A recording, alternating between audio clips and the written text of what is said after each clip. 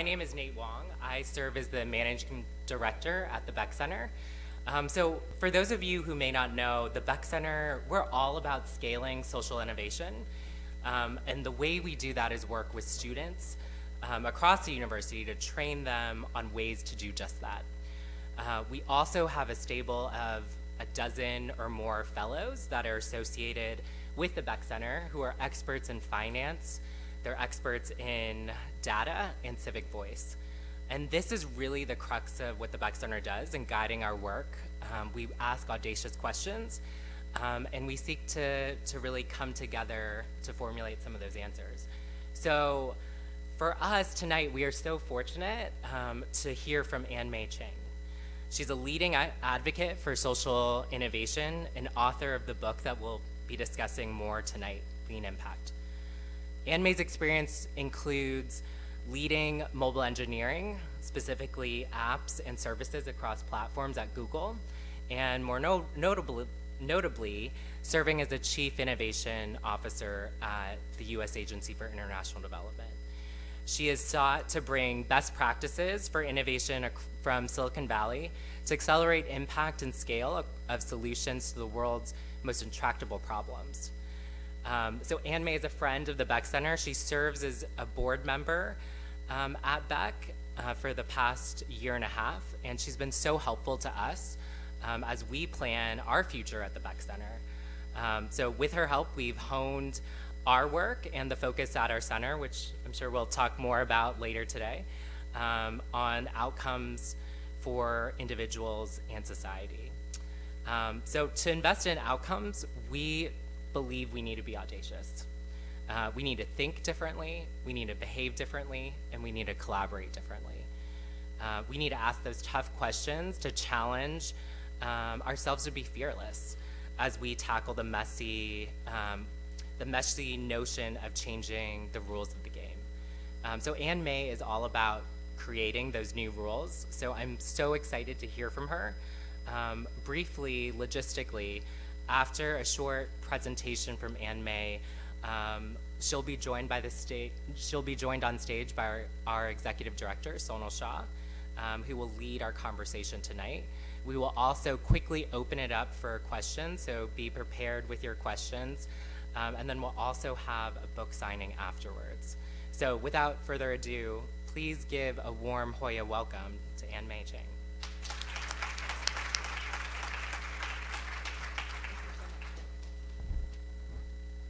Thank you everyone for coming out on an evening here. Um, so I want to start with a question. How many of you feel like that despite all our enormous efforts, that we're just not making enough of a dent on the problems that plague our society? Anyone else feel that way? Okay, most of you. I certainly do. And this is, I would argue, exactly why we need social innovation. So one of the books that has really done a great job of capturing the best practices of innovation that come out of Silicon Valley and has led to this incredible pace of progress in Silicon Valley is The Lean Startup by Eric Ries. And Eric talks about the Lean Startup as a methodology to, for building products and services under conditions of extreme uncertainty. Now you can imagine in Silicon Valley, in the tech world, if you're a tech startup, you're working in incredible uncertainty because you're trying to work with cutting edge technologies, building business models and products and services that have never been tried before. And we all know that like nine out of 10 startups fail as a result. Well, I would argue that this is equally, if not more true, for social challenges. That, um, and, and there's an incredible amount of uncertainty because problems seem to only be getting more complex more intertwined, more enmeshed. And we're just not making enough progress. And so, so we need innovation just as much for social good. And yet, too often I feel like we're just bringing the wrong tools to the table. So in cases where we have solutions that we know will work and we know can scale, it makes absolute sense to do what we tend to do, which is focus on predictable execution how do we deliver whatever, whatever intervention or um, product or service to do good in the world. But much more often, what I've found is that we're tackling big, complex problems where we have more questions than we have answers. And in those situations, we need to take a different approach, one that emphasizes the speed of learning. And that's what social innovation is about. And yet, when I talk to organiz- uh, leaders who are working for social good, many of them have heard of the lean startup or other innovation tools and techniques and see the potential for these in the work that they're doing. But quickly they get stuck. They struggle to figure out how to make this, these tools apply in the work that they do, where they have highly restrictive funding, or where social impact can be very difficult to measure and take years to realize, or where the whole notion of experimentation can feel irresponsible when you're talking about working with vulnerable populations. And that's really why I wrote this book, Lean Impact, is to look at, uh, to, to look at how we can adapt these best practices of innovation that have worked in the business world or are working around the world and bring them to these problems that matter most by putting, bringing forward the stories of organizations that have found paths to um, addressing these and other challenges. And so, in the process of writing the book, I was lucky to get to interview over 200 different organizations, both big and small, domestic and international, nonprofit and for profit, funders and implementers, and try to learn from the best, the ones who are most successful. What were the secrets to their success? And three themes really stood out that I distilled down as three principles for lean impact. And I want to share those three with you today. The first is to think big. Just as Nate said, innovation starts with an audacious goal what I found is when it comes to social impact, too often we think too small. We plan within the constraints of we have this much funding, we have this many people, we have a grant opportunity of this size and scope, and we look at these constraints and we say, what can we do? And we can usually do some good, but most often we are only scratching the surface. We're barely moving the needle on the bigger problem. And so instead, I think we need to start by setting an audacious goal, one that is based not on the constraints that we're currently faced with, but the needs that actually exist in the world. Let me give you an example of what, um, let me put that a little bit in perspective. So um, in global development, some of the things that we've worked on are things like access to clean water, electricity, and sanitation. Over the last 30 years, we've made slow but steady progress on each of these areas.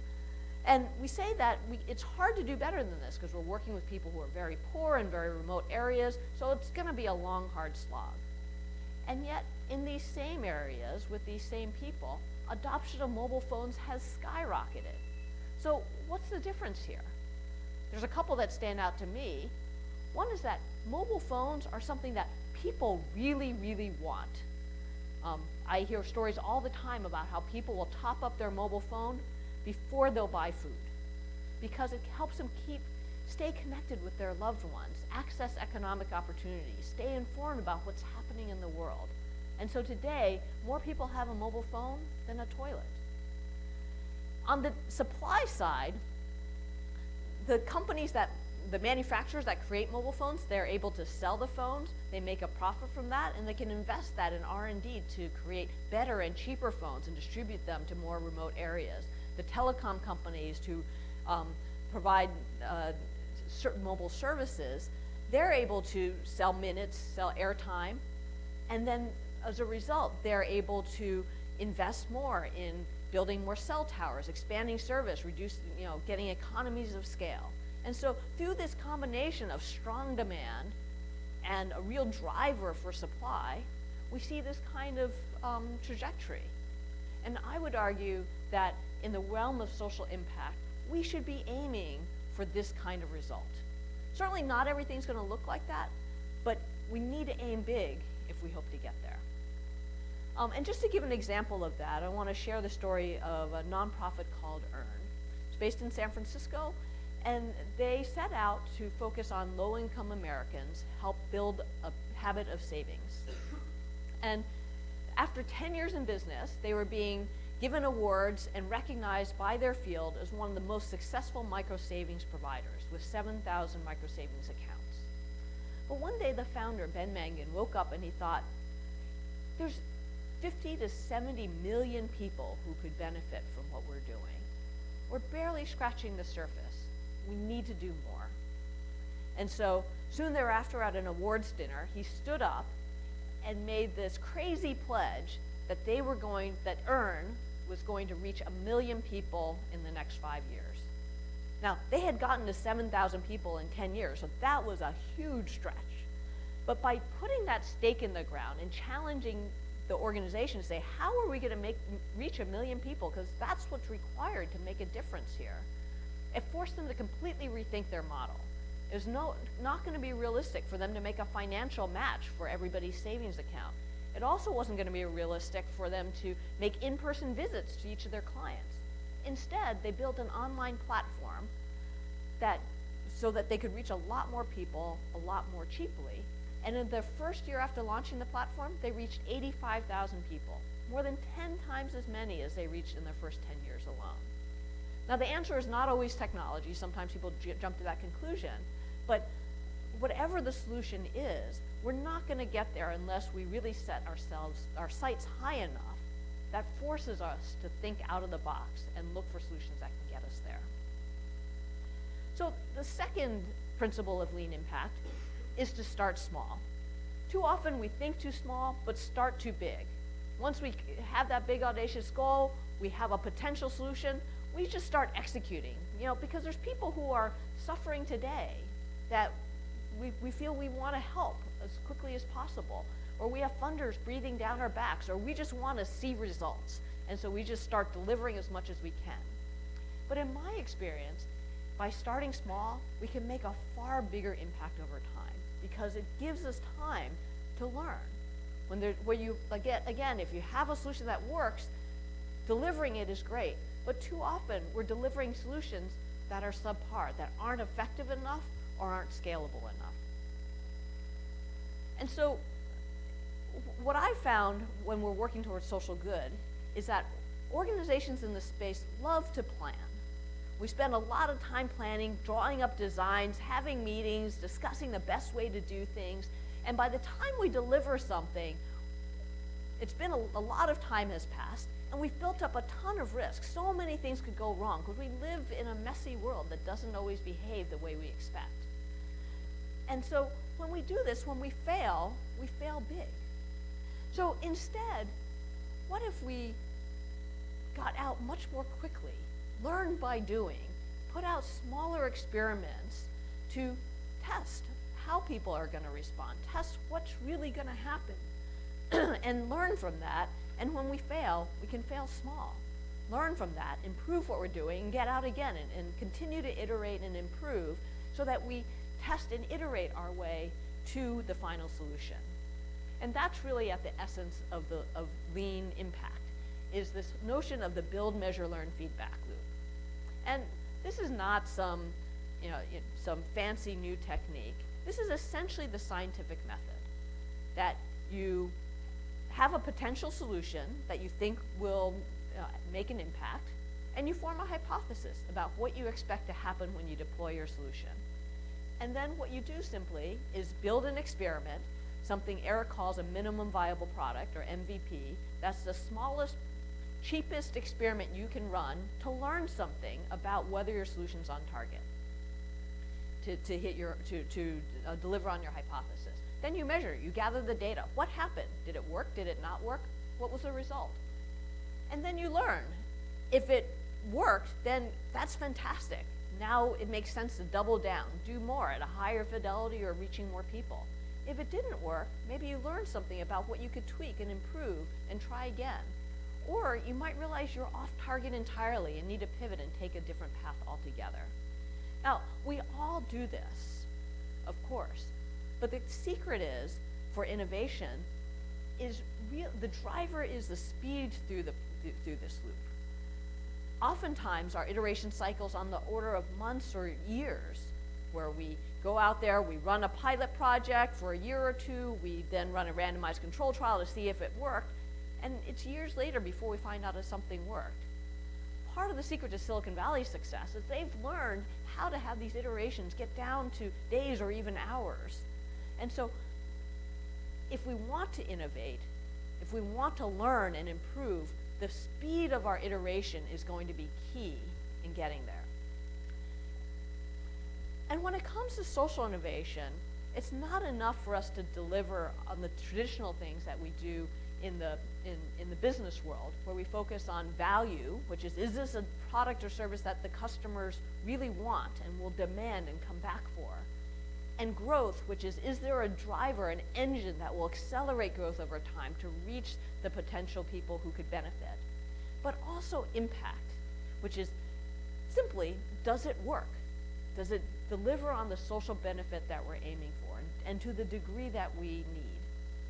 And so when we're experimenting to test for social, uh, social innovation, what we want to do is look at our hypotheses around value, growth, and impact, and test each of them to ensure that we really are delivering because we need to deliver on all three of these in order to succeed. Let me give an example of each of them. First on value, which is usually where we start. Because if nobody wants what we have to offer, we're not going to get very far. So Copia Global is a social enterprise in Kenya, and they set out to, uh, with the goal of providing a much wider range of consumer goods to people living in rural Kenya. And they started out with this, uh, with this idea of a solution of providing, um, being the Amazon of Kenya, of providing products through a catalog that people could order. But rather than setting up warehouses and transportation infrastructure, hiring a bunch of agents, and investing a lot of money and time on their infrastructure, they decided to run an MVP.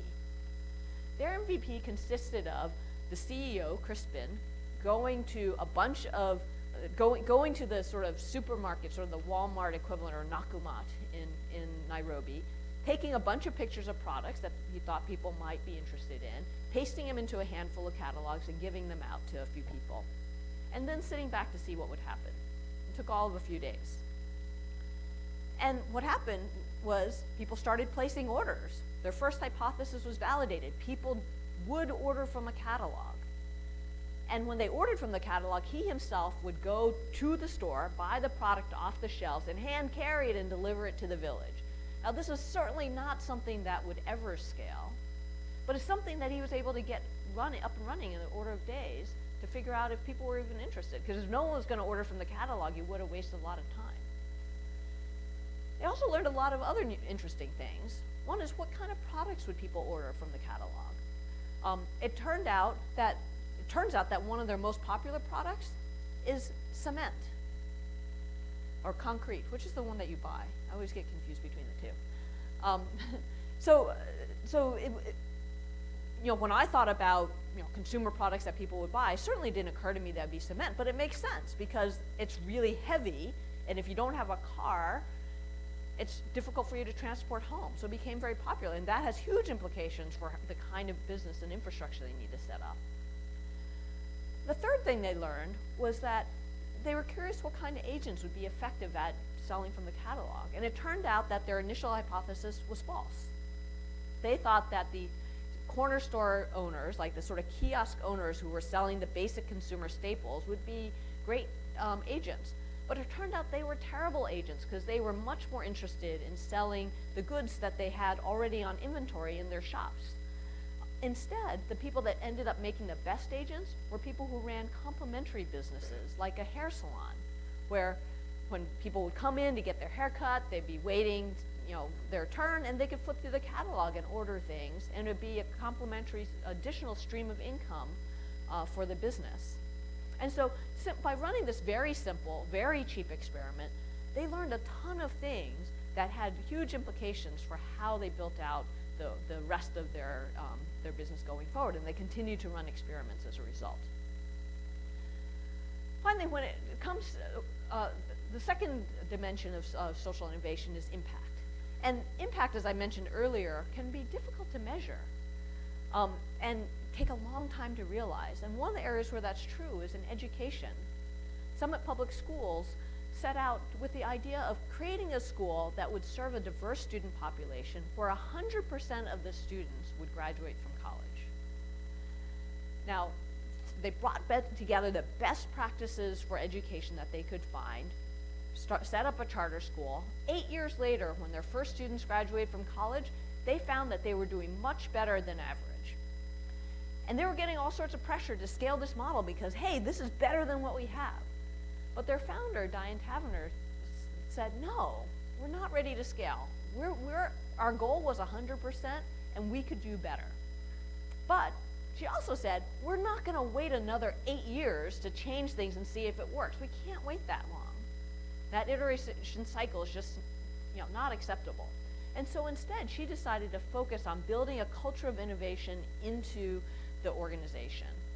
And they set up systems so that they could capture data every week based on student learning assessments, teacher feedback, and focus groups that would determine what was working and not. And over a 57 week period, they varied the mix of uh, teacher lectures, student group, small group projects, um, personalized learning on computers that were uh, self-paced learning, uh, one-on-one tutoring, to try to figure out what was going to make the biggest difference and really improve students' learning. And each week, based on what they learned, they continued to improve. And over the course of a year, they really honed their revolutionary approach to personalized learning. In the last year, 99% of their graduates were accepted to college. We'll see over time how they do on their graduation rate. But their model is now being adopted by 300 public, over 300 public schools across the United States. And so even for something like education that takes a long time to realize, there's ways to find those early indicators that will allow you to experiment. And finally, once we have something that people want and that we know works, I think one of the places we fall down the most when it comes to social impact is scale. As Nate talks about, that's one of the reasons that the Beeck Center exists, is that we're not getting enough of these great solutions to scale. But the journey to scale looks very different um, in the social impact world than it does in the private sector. Let me share the journey of Vision Spring to show you what that might look like. Vision Spring set out to focus on a 700-year-old invention that has been proven to increase productivity and learning potential. That's eyeglasses. Now, we often think of innovation as, you know, the bright, shiny new thing, but this is a 700-year-old invention. And yet, their estimates are like two and a half billion people who need eyeglasses don't have them. And they set out to fix that. So they started by focusing on two geographies, El Salvador and India, hired a bunch of people they called vision entrepreneurs to go out to rural areas and provide vision services. These folks came back with compelling stories of kids who were able to learn, um, adults who were able to work again, and many nonprofits would be thrilled that they were making a huge difference in these people's lives. But they realized that they were losing money with each person they reached, and they were never going to be able to get to much scale that way. So their first pivot was they decided to set up vision centers in more urban areas that would serve a more affluent population and use the profits to cross-subsidize outreach to more rural areas. And through this, they were becoming, they were able to become financially self-sustainable. Now, what could be better? You're doing good and you're financially self-sustainable. There was one problem. It would have taken decades or even centuries for them to scale their infrastructure to reach everyone around the world that needed them. So their next pivot was they decided to partner. They partnered with an organization called BRAC in Bangladesh. That's a nonprofit that has community healthcare workers in every corner of the country and provided visions care services through them. And through this partnership, they've now been able to reach over a million people, and through additional partnerships, they've reached over four and a half million people. Now, they're doing good, financially self-sustainable, reaching millions of people. What could be better? Well, two and a half four and a half million people is a tiny fraction still of two and a half billion people. And they realized that this was a systems problem. It was not something any one organization could do. They had, there, there were failures in the market where eyeglasses manufacturers weren't motivated to um, invest in low-cost enough eyeglasses and distributing them, where governments weren't providing basic vision care services to their populations. And so they decided to set up something called the Eyelliance to bring together eyeglass manufacturers and governments and nonprofits to work together on these systems issues. one of their first successes was the MOU they signed with the government of Liberia to integrate vision care into their public health and public school systems. And you can imagine through this type of approach of influencing policy, shaping markets, that they can eventually get to that two and a half billion number. Now, Vision Spring's path is only one path to scale, but it illustrates the kind of twists and turns involved in getting to scale and the kinds of things we need to reach beyond our normal modes of working in order to get there. And it all starts with that audacious goal, that two and a half billion number that they have continued to stay focused on has driven their decisions. So the last principle of lean impact is to relentlessly seek impact. Now this seems obvious, but I've seen so often that we lose sight of this in the work that we do. One issue is that we, we forget to fall in love with the problem. Instead, we fall in love with our solutions. Our solution is, and that can be because we have pride of ownership over the thing we invented ourselves, or that we want to have a particular role for ourselves individually or for our organizations, or we're trying to find a way to use a particular technology that we think is really exciting. There's lots of reasons that this happens. Um, but I see too often that organizations get caught up. You know, one of the ways that I, I measure this is that I talk to lots of different nonprofits, many of whom work in the same sector. And every single one of me will tell me they have the best solution. And they can't all be right. So instead, what I think we need to focus on are the metrics that matter. Um, too often we focus on these metrics on the left um, that are um, what Eric calls vanity metrics. These are the absolute numbers of the number of people we reach, the number of dollars we raise, that are really the heartbeat of how many nonprofits work but they don't actually tell you anything about whether you're making a difference. You could reach a lot of people, but did you improve their lives? And even if you did, could another organization with those same resources have done much more with more people? So instead, what I think we need to switch our focus to is what I call the innovation metrics on the right. And these are the unit level metrics on value, growth, and impact that look at the conversion rate, the adoption rate, the unit costs, the success rate that really will, are the keys to driving impact over time.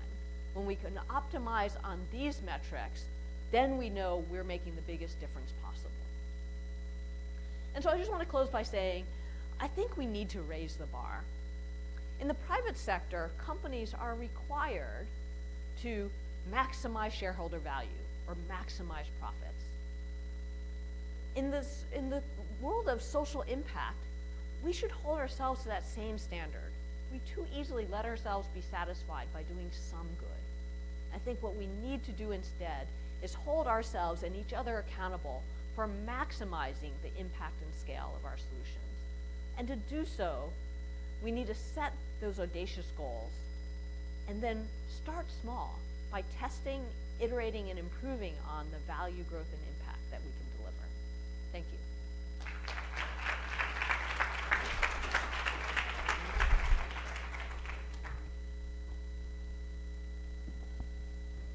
All right. I'll come on this side. Okay. Um, I have so many questions, but let me just start with uh, Ann Mei uh, every day challenges me because she sits on my board about the Beeck Center on a regular basis. And so what I thought I would start with, Ann Mei, is actually just applying it to myself, right? And to take the principles that you have said. And I, I do start that way. I think about it and I'm like, okay, what's the constraints of working at a university? And then what's the constraint of the funding that I have and how many people do I have? And so one of the biggest challenges, you've pushed us on this, is okay, so what's the strategy of the Beeck Center? And I would love for you to just give the feedback of what you have told me. Because I'm like, we do finance, we do data for social good, we do blah, blah, blah. And then your feedback was? Well, I.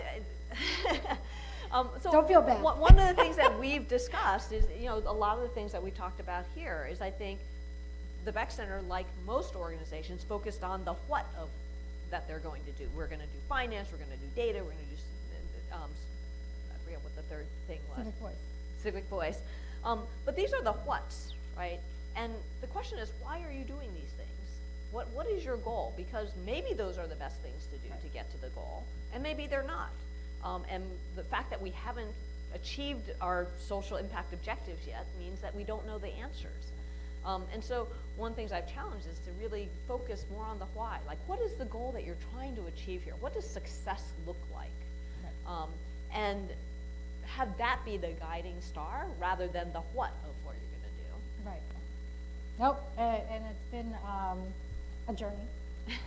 uh, I think, I, and I think that's the important thing that I want to, I would love for you to talk about, because you've talked to, you said you talked to 200 organ, over 200 organizations.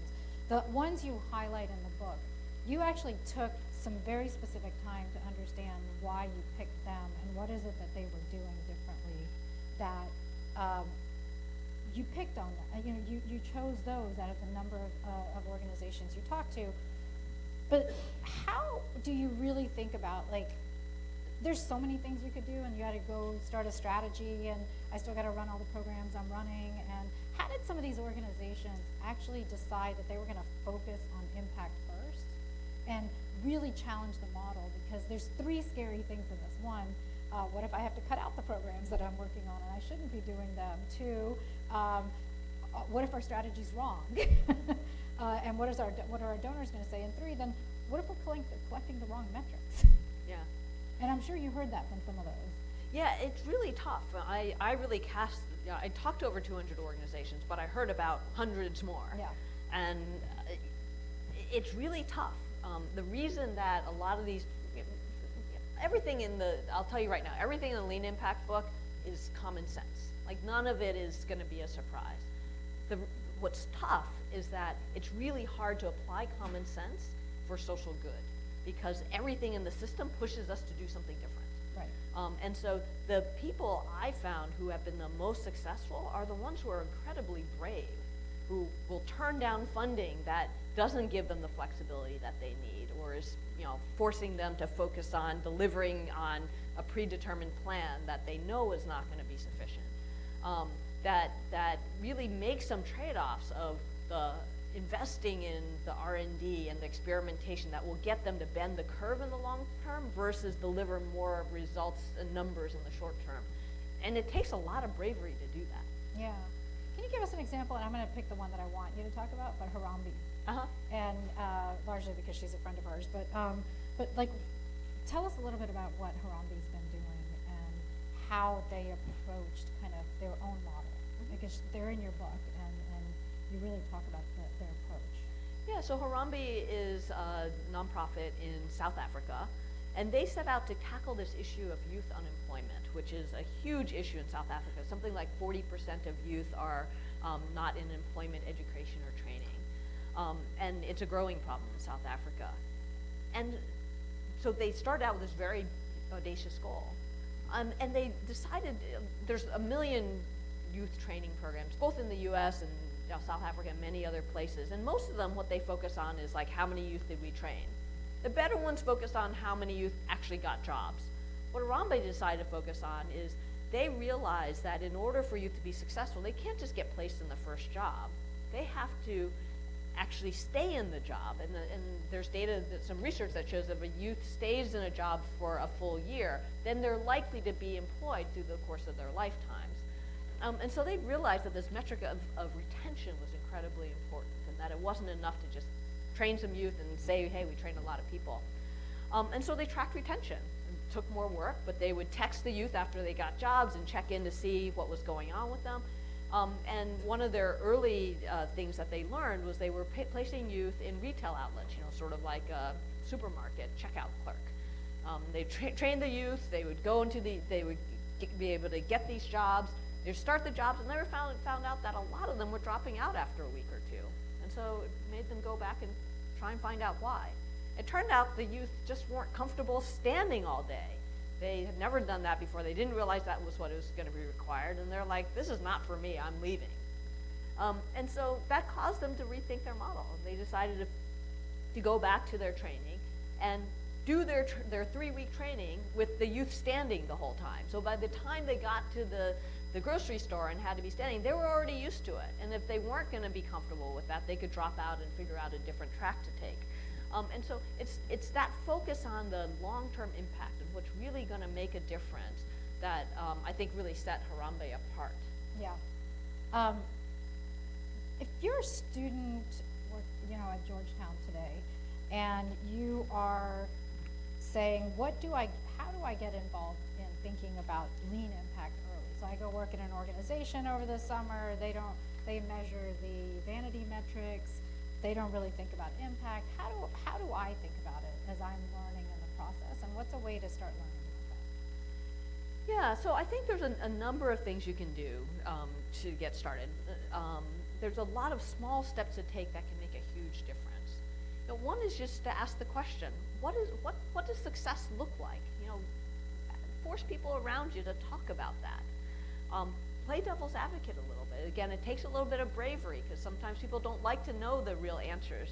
Um, but the other thing is to run experiments. Experiments can be incredibly cheap. If you have a program that you're going to promote, create two versions of the flyer with different ways that you um, you might pitch the program, different benefits that you might uh, be offering to people, and see which one attracts the most interest. It's a very simple, cheap way to learn something.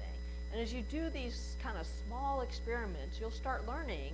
And when you can bring those results back to your organization and say, hey, you know, I just went out for a couple hours this afternoon to the mall and I, you know, tried this experiment. I, I you know, offered these things, and this is what this is what the response was. Ten times as many people liked this version. Like that's real data. That's something that's actionable. And I think just those small steps can of getting that data um, that helps, you know, root the your decisions in reality rather than debates in the conference room um, are a huge step that you can take forward that anyone can do. A- And you know, like you could come, many of us worked in large organizations, many of us worked in, are working in large organizations. Um, we want to start the process in our own organizations, but uh, it's hard. It's hard to convince your bosses, it's hard to convince others that we should be testing these out. How do we do that? How, what are some models or what are some examples of what you have seen of where initiatives started with, within groups of people trying something and then seeing what would happen? Yeah, um, it's, it's, it's, it's sort of a broad question. I'm trying to think of a good example of this. I think that, like I said, anyone can go run an experiment. Um, but I think it's, it's getting agreement on what really matters that is hard. I, In your program? Yeah, in your pro- program. a lot of So ti- USAID, you ran programs. Yes, we ran a bunch of different programs. But uh, what, what I found a lot of times is that organizations don't have agreement on what matters, like what does success look like? And asking that question can really make a big difference. And then being willing to think outside of the box, to try something that could move the needle there. Um, I'm not thinking of a great example right off the top of my head of, um, of someone taking the initiative to do that within an organization, but I, I think a lot of times what happens is the uh, is that people try to because there's so much buzz around innovation. I have lots of examples of how people decide to innovate because that's like the cool thing to do that everyone's supposed to do. Um, and there's all these innovations floating around. I was just talking to an organization today who were talking about we have all these innovations floating around, and like they neither succeed or fail. And so I asked the question, well, do you what are you trying to achieve? And nobody knew what they were trying to achieve. So of course, like you can't succeed or fail. And so the innovations are just cool ideas that are out there. And I think all too often that's what I see in terms of innovation is like the cool ideas that we're not actually sure what they're trying to do. Um, and innovation doesn't have to be a bright, shiny new thing. It can be a very small tweak to um, a process, to how you pitch something, to um, the people that you engage that makes all the difference. Yeah, it's, it's, um, it's vision spring. The innovation wasn't eyeglasses. Exactly. It was how you were distributing the eyeglasses, or who could distribute. Yeah, and I think we tend to conflate the notions of invention and innovation. Invention is that new idea, and invention is absolutely essential to happen. Someone had to invent eyeglasses, right? But invention, uh, I love this Edison quote that I'm sure you've heard me talk about before. Edison said, um, genius is 1% inspiration and 99% perspiration.